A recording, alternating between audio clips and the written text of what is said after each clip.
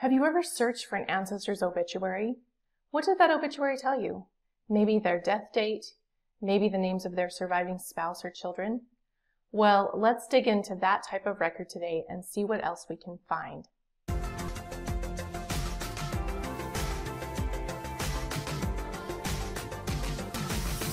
Hey, I'm Melissa Finley. Welcome to Boundless Genealogy, where I teach you how to squeeze every last clue out of the records you find in your family history search so that you can grow your tree with more accuracy and precision.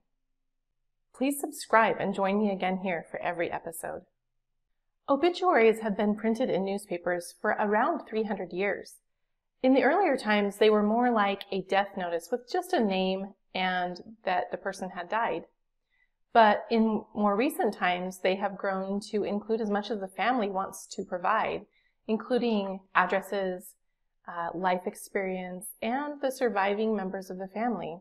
They can be rich with clues that will help us expand our family tree. It is definitely worth a look to see if one of your ancestors had an obituary printed about them in the newspaper. Today's obituary example comes from a woman named Mrs. Rebecca Thompson of Lena, Illinois and she died in June of 1938. Her obituary is rich in clues about her, her life and her family. In fact, it contains clues that allowed me to finally puzzle together her father's life. He was a tough case to crack. Let's look at all the clues that can be found in her obituary. Her obituary reads, Mrs. Rebecca Thompson passed away at her home Sunday evening. On the last day of May she suffered a stroke of apoplexy and a severe, and a severe heart attack from which she failed to rally. Frances Rebecca Donohoo was born August 17, 1875, in Fredericksburg, Kentucky, where she lived until her marriage to Joseph A. Thompson. After their marriage, Mr. and Mrs. Thompson moved to East Texas, Kentucky, and from there to Durant, Indian Territory, where they resided for a year. Then they returned to Kentucky, remaining there until June 1913, when they moved to Freeport. Several years ago, they came, they came to Lena, where she has since made her home. The obituary goes on to say, besides her husband, she is survived by two daughters and two sons, Mrs. Joseph Michelle of Freeport, Mac Thompson of DeKalb, Mrs. Chris Dooley, Florence, Wisconsin, and Charles Joseph Thompson of St. Louis. A daughter, Mrs. Fred Stark, passed away in March 1937. Funeral arrangements have not been completed, but services probably will be Wednesday morning. So first of all, where would you find an obituary like this? Thankfully for us, there are many websites now that provide digital copies of old newspapers. I will include a link to many of these websites in the description below, so follow the links there if you'd like to find some resources. Some are paid and there are a lot of free options as well. So what are the clues? There are so many clues we find in this particular obituary. First of all, we have, of course, the place and the date that she died. Now it says that she died Sunday evening, so we'd want to go back and look at the date that this newspaper was published. And it happened to have been published on Monday, so we can go back to the Sunday before that and figure out the date of her death. It also tells us what she died of and that she was ill for a, a month or two before um, she actually did pass away. She had a severe heart attack. Then the next paragraph I think is my favorite one. It gives her maiden name. Her, her name that she was born with was Frances Rebecca Donohoo and she was born in August 17, 1875 in Fredericksburg, Kentucky. So even though this obituary uh, and her place of death was in Illinois, it leads us back to Kentucky where she was born. The other great thing about this is that during this time period, Kentucky was really spotty about keeping birth records. There's only a few um, miscellaneous years here and there where the birth records were kept, and her year was not one of them. So this gives us her exact birth date and place. It also tells us that she lived in Kentucky until she married her husband, and it gives his full name, Joseph A. Thompson. And then I love the next part. It gives a play by play of the places that they lived and moved to. And in this clue was where I figured out her father's puzzling life. So they moved to East Texas, Kentucky, then to Durant Indian Territory, which would be modern day Oklahoma. And um, after they were in Indian Territory for just a year, they moved back to Kentucky. The reason this helped me with her father's research is because I could not figure out why he died in Durant Indian Territory when he had lived the rest of his life in Kentucky. But this tells me right here he was either visiting his daughter or living with her in the state of Kentucky when he died. Sorry, excuse me, in this in the Indian Territory or the modern state of Oklahoma when he died, but his body was returned to Kentucky and interred there at the cemetery. Um, and then it says that they remained in Kentucky until June of 1913 when they moved to Illinois, beginning in Freeport and then moving to Lena later on. The second portion of her obituary tells the information about her children.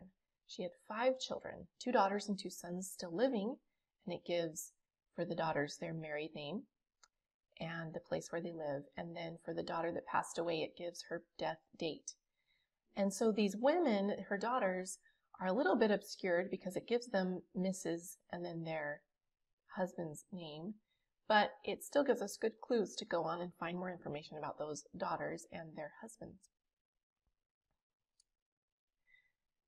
So, what are some things we need to watch out for with these newspaper obituaries?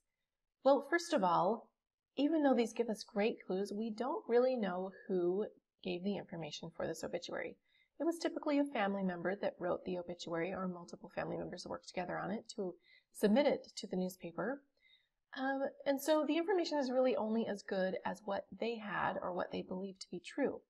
So just like every other document in family history, we take this information with a grain of salt, knowing that at some point we might find another document which conflicts with this and we have to decide where the truth lies within those conflicting documents.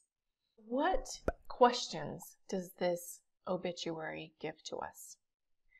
Well, it first asks the question, begs the question, why did they move to so many places? Was it related to her husband's work? What was his occupation? And like I had mentioned before, even though it gives the name of her children, all five of them, the women's identity is a little bit obscured under their husband's identity. So we would want to go and find more records, linking them to the husbands whose names are listed, and linking them to their parents and finding their own maiden names. So as with every genealogy document, this document also can lead us to other records that we want to uncover for this ancestor. It leads us to things like, can we find any other information about Frances Rebecca Donohoo growing up in Fredericksburg, Kentucky. As I mentioned, there will probably not be a birth record, but can we find her in other records with her family? She was born in 1875, so we likely can find her with her family in the 1880 census there in Kentucky. We should be able to find a marriage record for her marriage to Joseph A. Thompson, and it looks like it probably happened there in Kentucky as well which is where they stayed after they were married before they started moving around the country. Um, then we would want to look if we could find them as a married couple in these locations during the other censuses. Of course, the 1890 census is destroyed, but what about 1900 through through 1930, which is the last census that would have been taken before she passed away. They should be found throughout Kentucky, perhaps in Indian Territory or Oklahoma, and then in Illinois. In fact, those censuses would be another great place to identify the female children in her family. With the children being named, we can also look for their own marriage records, and that would be a great way to tie the husbands that are listed here with the daughters of Rebecca and Joseph getting married to them. And then we can go on to the 1940 census and look for the children that are listed here, as well as to see if Joseph Thompson is still living by the time of the 1940 census. To wrap it up, let's take a look at the clue web that we can form about Mrs. Rebecca Thompson based on this obituary. And I like this clue web. It is a nice rich one to start with. So we know that she was also known as Frances Rebecca Donohoo before she was married to her husband. We were given her husband's name, that it was Joseph A. Thompson, that she was born in 1875 in Fredericksburg, Kentucky, that she died the 19th of June, 1938, and that she was of Lena, Illinois. We were given to know that she had three daughters and two sons named with the locations that they lived in and or their death dates. And then my favorite part, we were given a whole lot of information about the places that the Thompson family lived over their married life. They lived in East Texas, Kentucky, Durant Indian Territory, back to Kentucky until 1913, and then Freeport and Lena, Illinois.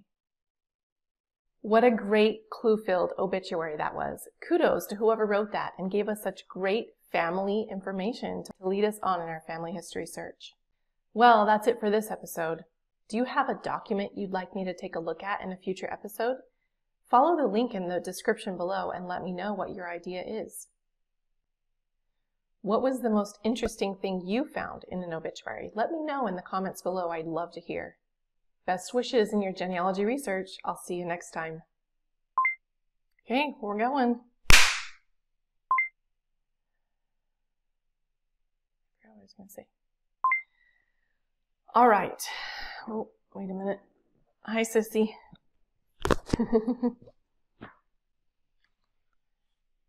Lift up the computer.